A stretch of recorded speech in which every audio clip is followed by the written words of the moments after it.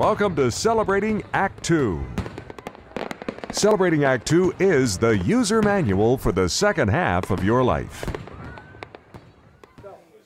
Hi, I'm Manny Pacheco for Forgotten Hollywood and Celebrating Act Two, and we are here at Cinecon, and you'd be surprised at the people we get to meet. And I'm so happy to have David Kiehn, who is the historian for the Niles Essanay Museum. It's in uh, Fremont. Uh, I guess the city of Niles is, is part of Fremont. That's right. It's now a district of Fremont, and uh, but you know, uh, before 1956, it was its own little town. Wow. Now you do a lot there. You're the curator. You also do uh, some. Um, you pick movies to screen. I was there once, uh, to, and we were screening The Four Horsemen of the Apocalypse. Uh, tell us about uh, the West Coast love for silent movies. It really does begin at Niles, doesn't it? Uh, well, it's certainly a uh, a place that uh, a lot of people enjoy. That uh, the San Francisco Bay Area is a great film community, and it has been for a long time. And uh, so we get people all around the Bay Area at our little theater, built in 1913, and uh, um, and we've got fans all around the country and even around the world, thanks to our online programming. Now, before the museum, it was actually a studio, and it was the home of some very iconic pioneers of cinema Bronco Billy, Charlie Chaplin. Can you tell us? And Mack Sennett. Tell us a little bit about that. Not Mack Sennett, but uh, the Essanay Film Company was there from 1912 to 1916, made over 350 films there. Charlie Chaplin made five while he was in Niles for a little less than three months.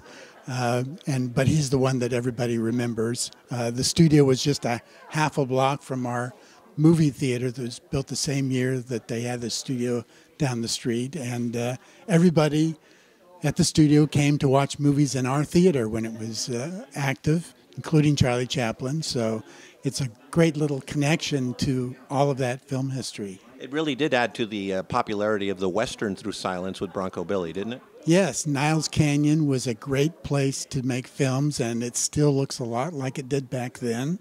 So, uh, and the and the community really hasn't changed that much.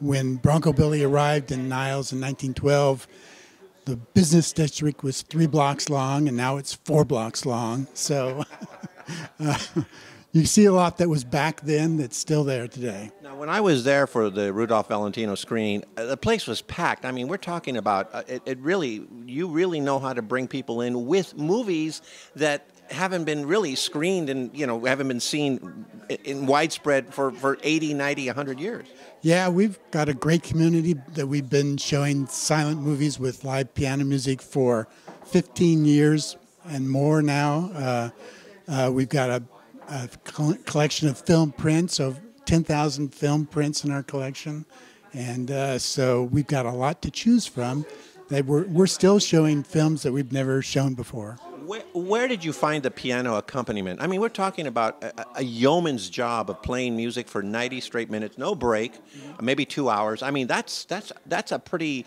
unique kind of job to have. Yeah, that's why the Bay Area is so great. There's people who've been doing it for 20, 30 years who really know how to do it, and you know, most of the time they haven't seen some of the rare prints that we show, and you wouldn't know the difference. They're, they're so good at what they do. Well, before I let you go, I do want to talk a little bit about some of the film, film festivals you have as well. Uh huh.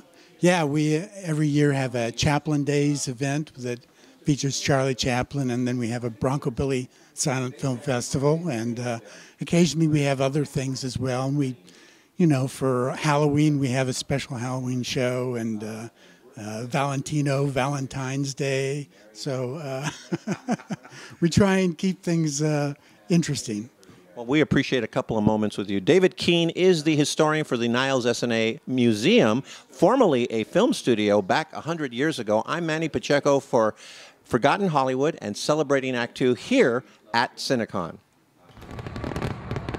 For more on Celebrating Act Two, visit our webpage, follow us on Facebook, subscribe to us on YouTube, and tell your friends. Celebrating Act Two is the user manual for the second half of your life.